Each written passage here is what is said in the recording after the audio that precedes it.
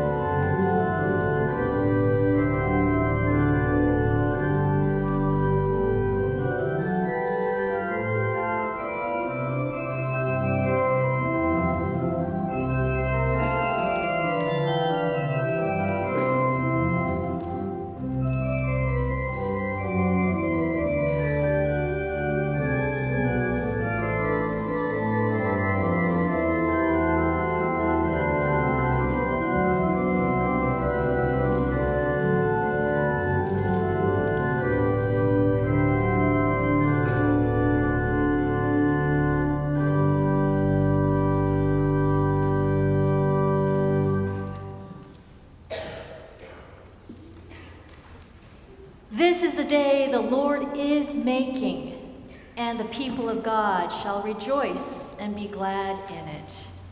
In the name of our Lord Jesus Christ, I welcome you to worship this morning here at Pasadena Presbyterian Church. I invite you to rise as you're able and rise in your hearts as we call one another to worship. We celebrate the good tidings of joy, words of peace, and message of salvation given to us this Christmas season.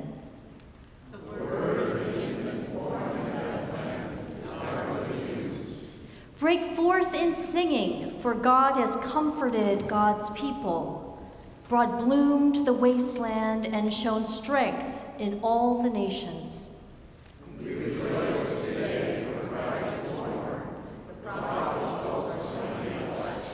The light of the world is among us. Let us rejoice and be glad.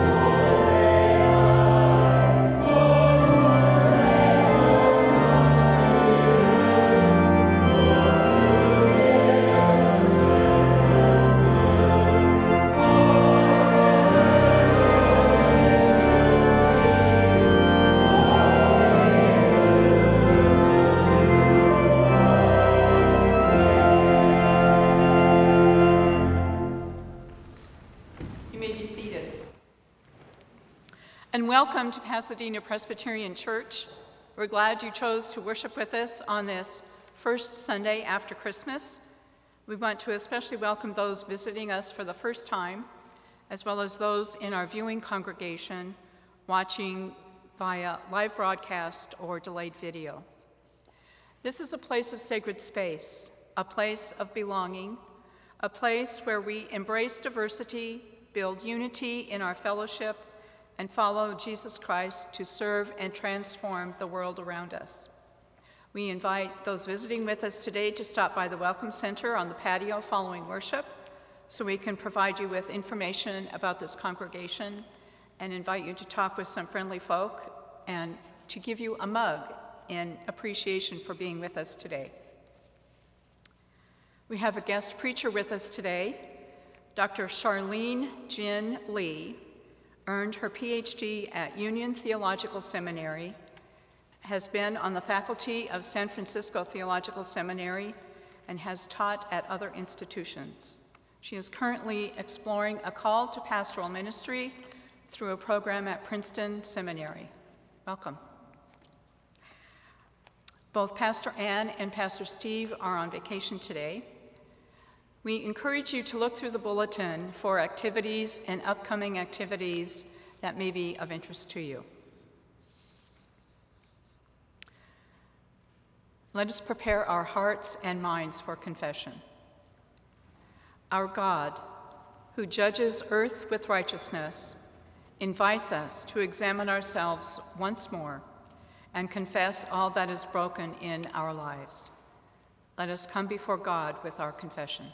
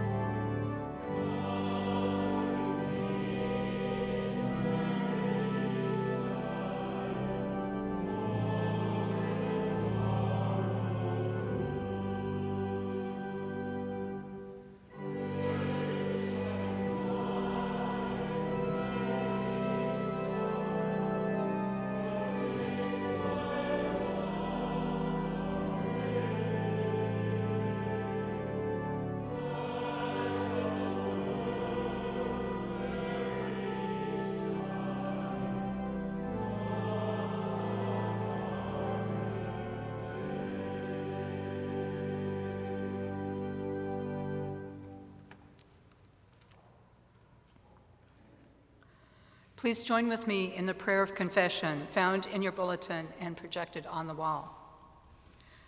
Gracious God, who brought those wise ones from afar to worship you, we come before you to ask forgiveness. We have sought you in high and holy places, and yet we are ill prepared to acknowledge your presence among the lowly and poor. We believe you are profound but we overlook your obvious truths. We are fearful and anxious about the unknown, but we hardly consider the realities immediately in front of us.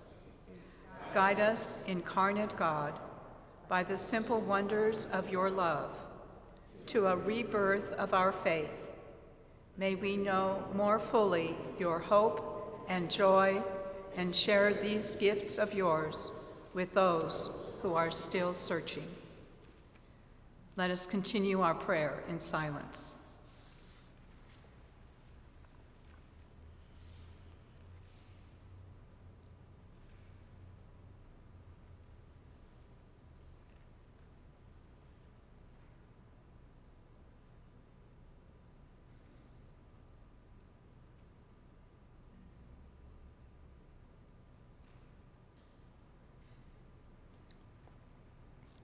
Children of God, it is clear that Jesus Christ came to help sinners. He is our Savior in all our distress, and it is His presence that saves us. Friends, believe the good news of the gospel. In Jesus Christ, we are forgiven. Please stand.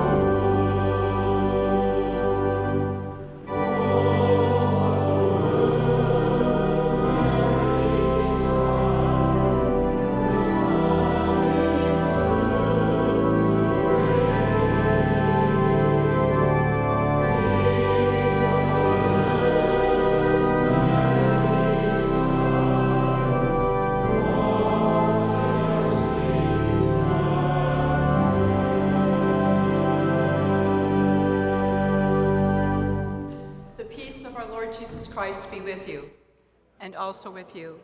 Let us greet one another with the peace of Christ.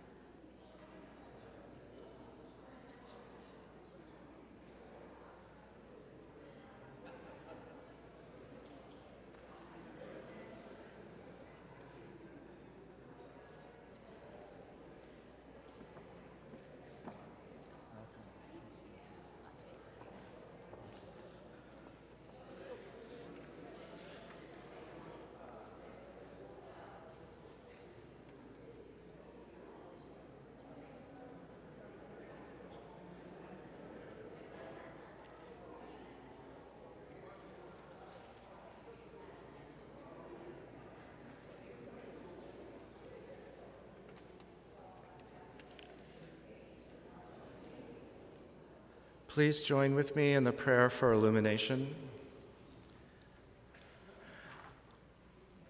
God of the prophets, by the power of the Holy Spirit, speak your word to us and seal it within us, that we may heed your call. Amen. The Old Testament lesson for today comes from the prophet Isaiah, chapter 63, verses 7 through 9. Hear the word hear God's word for us. I will recount the gracious deeds of the Lord, the praiseworthy acts of the Lord, because of all that the Lord has done for us and the great favor to the house of Israel that God has shown them according to God's mercy, according to the abundance of God's steadfast love.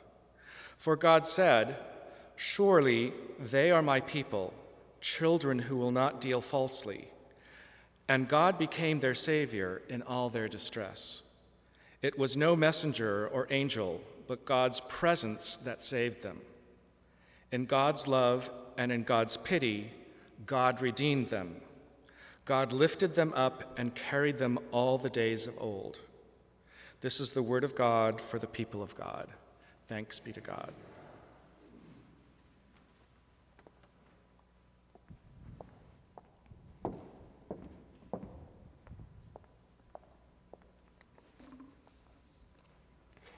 The gospel lesson this morning comes from the gospel according to Matthew, the second chapter, verses 13 through 24.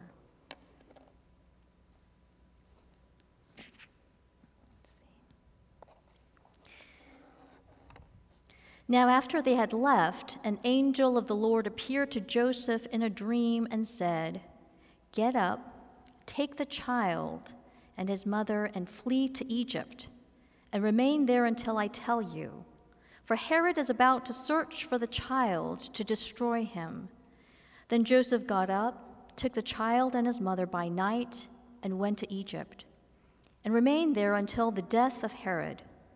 This was to fulfill what had been spoken by the Lord through the prophet Out of Egypt I have called my son.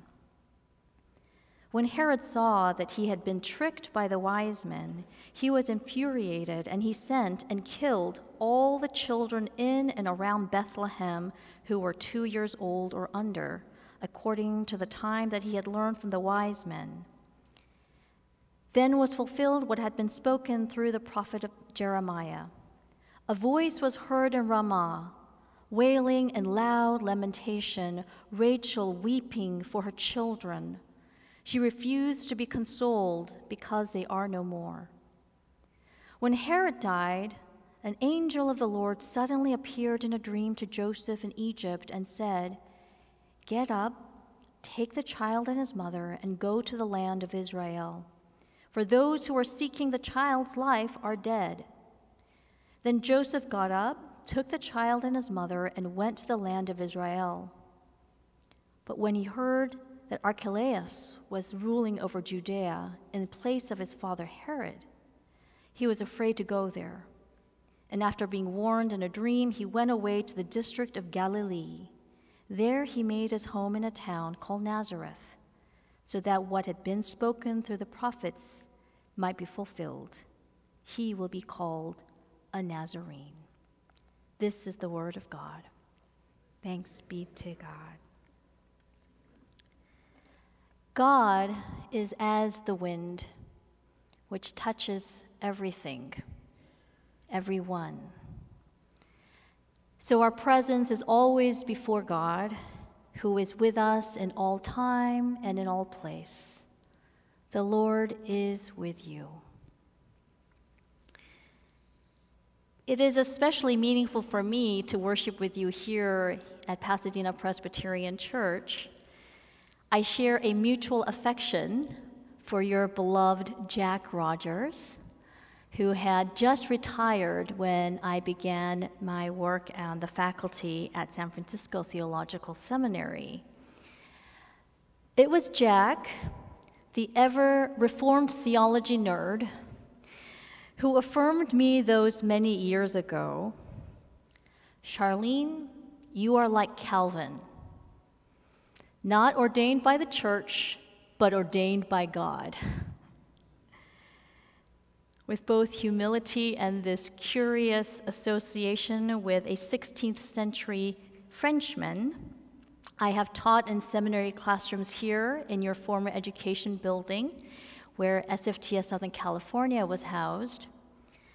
And more recently, I have been teaching in undergraduate religion and theology classrooms at Loyola Marymount University. I am now in a season of discerning a transition to parish ministry, and so it is indeed a fond return to this particular place where I remember the good colleagues and students with whom I shared my very first years of teaching ministry. So thank you for your warm welcome this morning.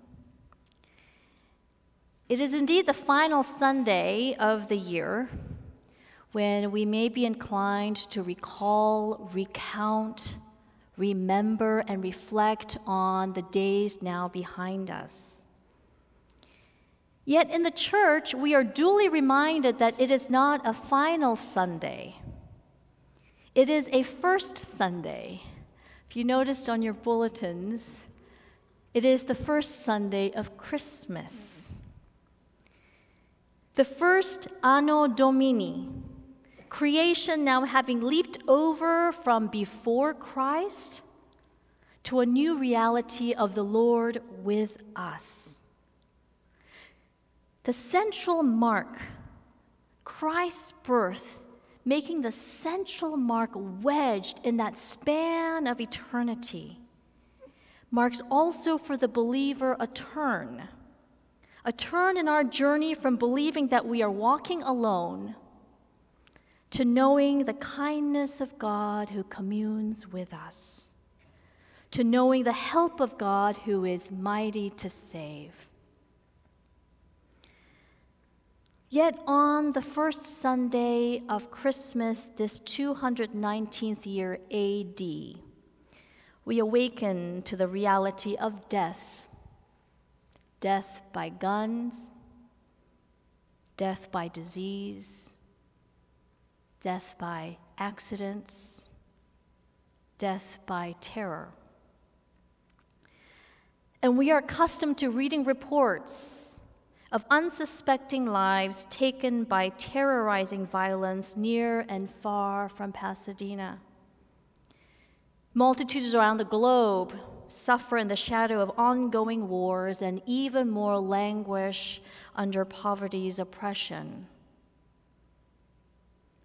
If not striving for physical survival, we are perishing by the perils of anxiety, of aggression, apathy, and addictions that seem to mark our collective lives in this era of accelerations. We also awaken this first Sunday after Christmas to the reality of pain stuck in our own memories, pain stuck in our own bones. We awaken again to the unspoken bro- bruise of long estranged relationships in our families. We awaken to the known predictable pain of upcoming chemotherapy appointments, the ever enduring pain of missing a loved one. Our lives are not wrapped in Christmas glistening lights.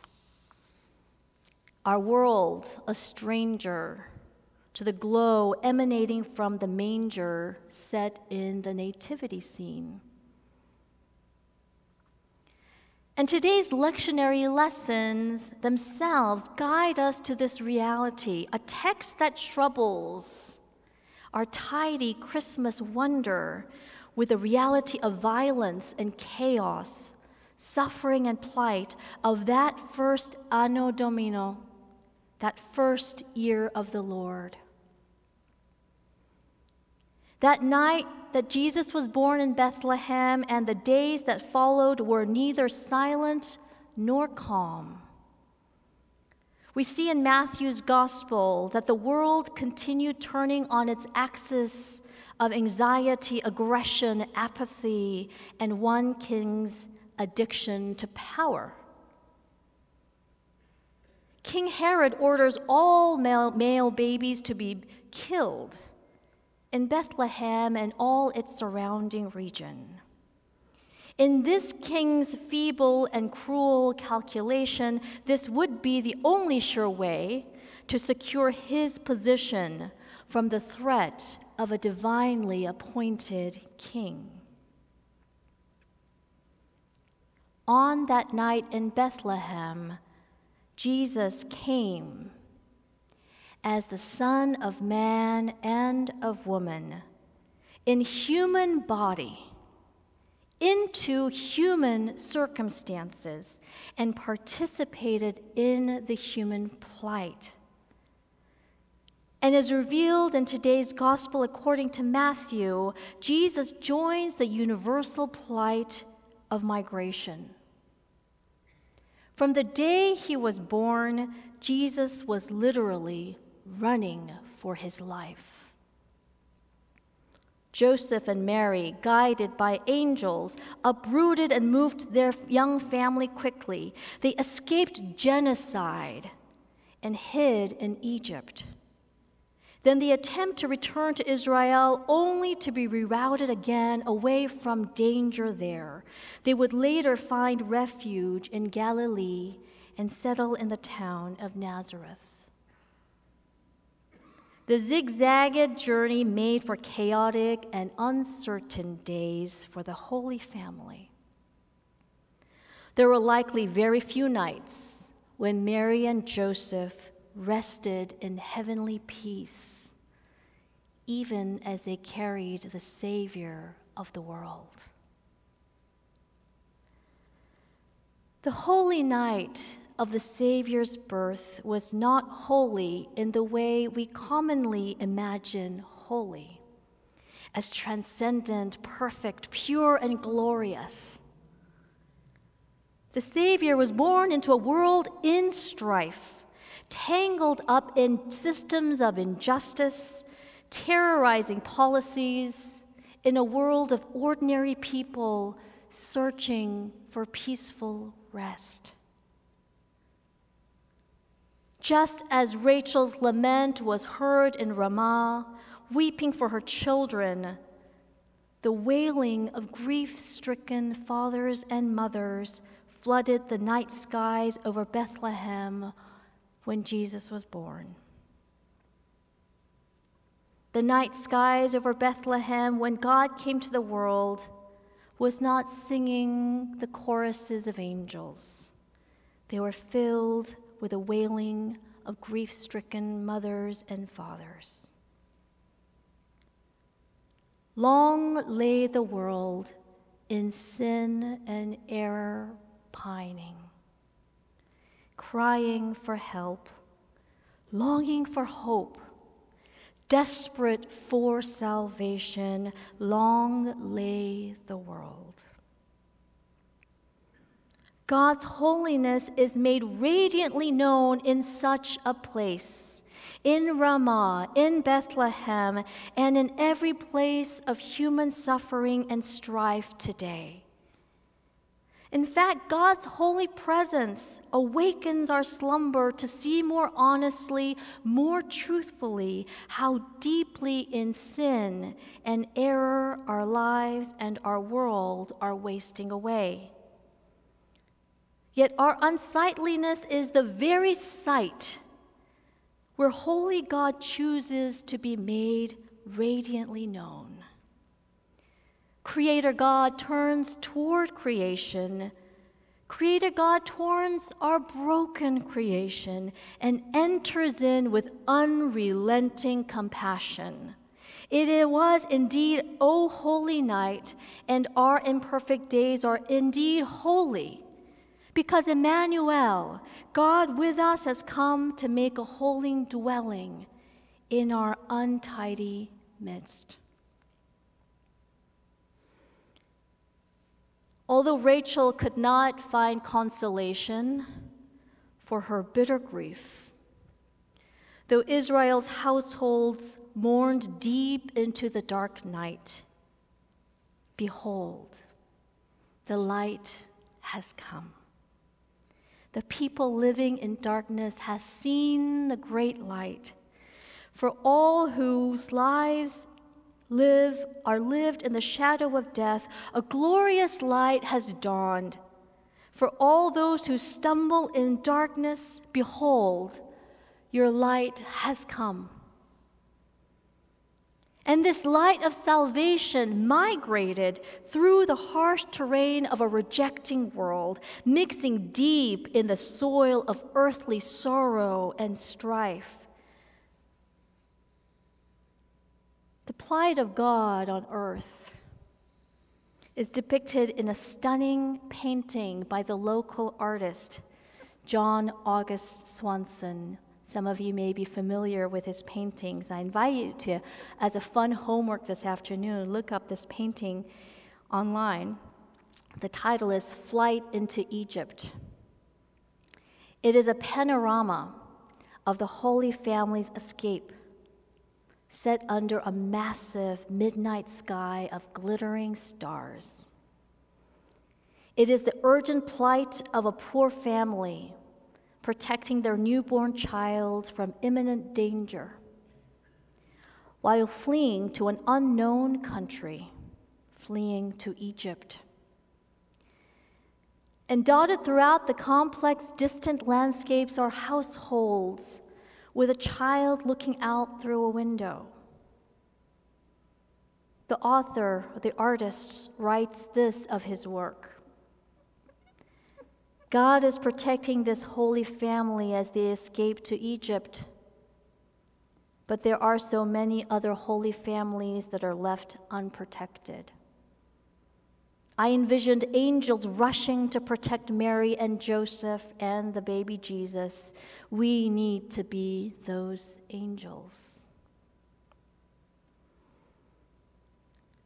While we gather to worship our Lord and Savior this first Sunday of Christmas, after Christmas, this last Sunday of 2019, as we recount and reflect, as we look ahead to the new year, we are exhorted to listen, to lean our ears, to hear the muted sounds afar from this beautiful sanctuary. To lean our ears to hear the muted voices of lament rising from Ramah, from Bethlehem, from Somalia, from Houston, from Monsey, New York, from Flint, Michigan, from Adelanto from the lips of babes and infants who have had to learn sorrow's wailing because of our nation's reprehensible border policies. We are called to turn our steps towards these sounds so that they are muted no more. We are called to turn onto Colorado Boulevard and beyond, for long lay the world. Our challenge as Christians is not to save the people around us, but to love them. So let us love. Let us love without calculation. Let us love fiercely, sacrificially, and faithfully until that soon coming glorious day when Christ will mend creation and mend our own hearts. When Christ will gather us in the healing warm light with all God's children of every time and place. Until then, we can hope. And when your hope dims, Join me in finding consolation in this offering by the poet Gerhard Frost. If I am asked, What are my grounds for hope? This is my answer. If I have two rooms, one dark, the other light, and I open the door between them, the dark room becomes lighter without the light one becoming darker. Light is Lord over darkness. Truth is Lord over falsehood. Life is Lord over death. Behold, beloved of God, your light has come. Alleluia. Amen.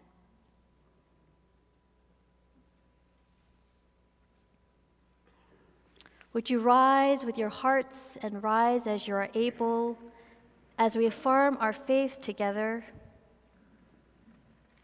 in one voice? I believe in God, the Father Almighty, maker of heaven and earth, and in Jesus Christ, his only Son, our Lord, who was conceived by the Holy Ghost, born of the Virgin Mary, suffered under Pontius Pilate was crucified, dead, and buried. He descended into hell. The third day he rose again from the dead.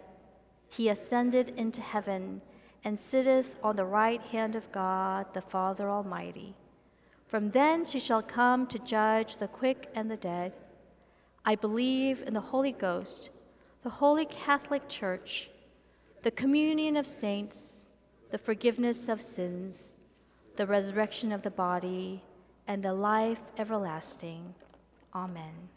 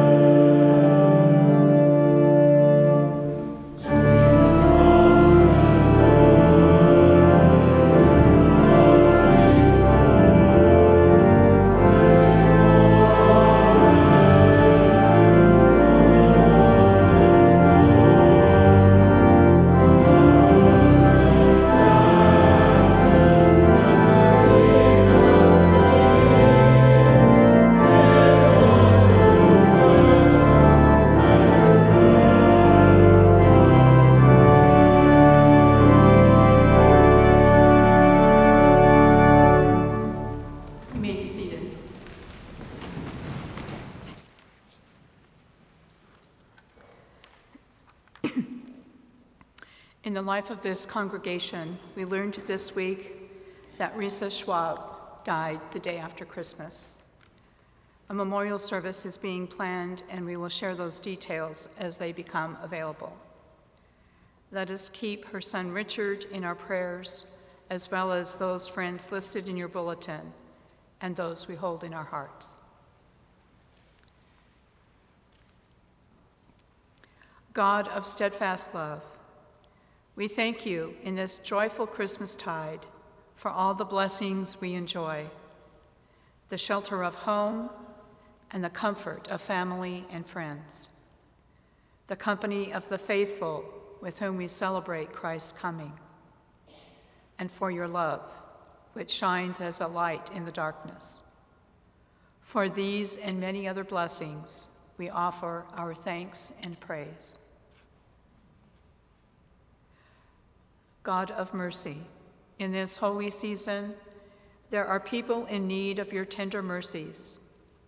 We pray for those who are ill and for those who are recovering, for those whose sadness is made heavier by memories of Christmases past or by some present pain. We pray for those who do not have enough enough food, enough money, enough companionship, enough hope. Because there is not yet peace on earth, we pray for those in harm's way. Protect them from war, violence, and cruel oppression. For these and many other needs, we offer our intercession. God of hope, through long ages, you have given to your people dreams and a vision of the time when there will be no more war, no more pain or sorrow, no more death. We pray this day for the time to be fulfilled when we will be reconciled to one another, to all creation, to you. Fill us with hope as we wait upon your coming realm. Give us the will to work for justice and peace, and the courage to follow you into every place. We thank you for dreamers and visionaries who respond with imagination and joy to what you are doing in the church and in the world. As the new year draws near, we know that all our times are in your hand. We entrust ourselves and those we love into your care. Let us recite together the prayer Jesus taught his disciples. Our Father, who art in heaven, hallowed be thy name. Thy kingdom come, thy will be done, on earth as it is in heaven. Give us this day our daily bread, and forgive us our debts, as we forgive our debtors. And lead us not into temptation but deliver us from evil. For thine is the kingdom and the power and the glory forever. Amen. All creation teems with the abundance of God's provision. Mountains and hills, fruit trees, creeping things, and flying birds. Our own lives bear witness to the abundance of God's love and mercy for God has lifted us up and carried us in our need. In joyful praise, we offer to God a portion of all we have received. The ushers will come forward to receive the offering.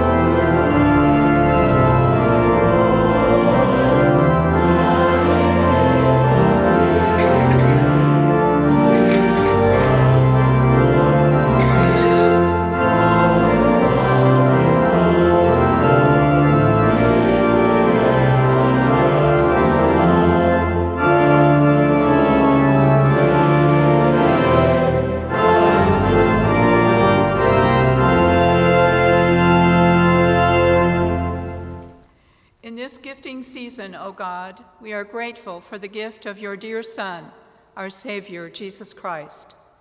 Receive, we pray, these offerings we bring. May they be used in the service of your grace and truth dwelling among us. In Christ's holy name we pray. Amen.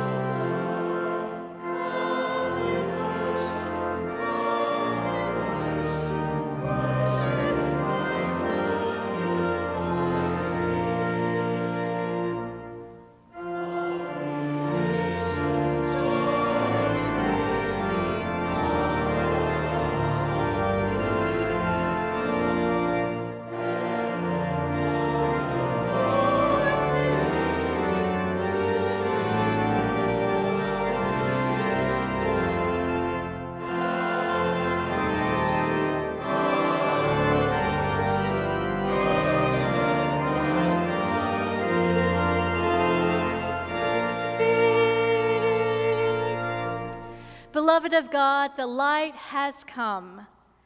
As we have been blessed by the warm light of Christ here in this place, may we go and dot this city and dot this world with the light and the hope of Jesus Christ. And now may God's love, that is from everlasting to everlasting, the grace of our Lord Jesus Christ, and the close communion of the Holy Spirit be with you and your household now and forever. Amen.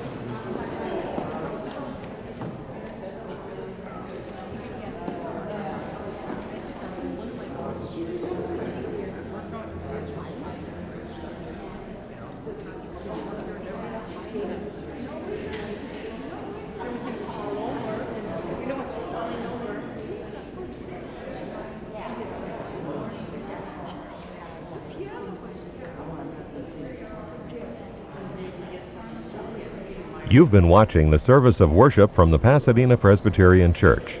The church has been broadcasting its worship service as a mission outreach in Southern California for over 75 years. We'd enjoy hearing from you with any comments you may have regarding this broadcast. Send us a letter to Pasadena Presbyterian Church, 585 East Colorado Boulevard, Pasadena, California. The zip code is 91101.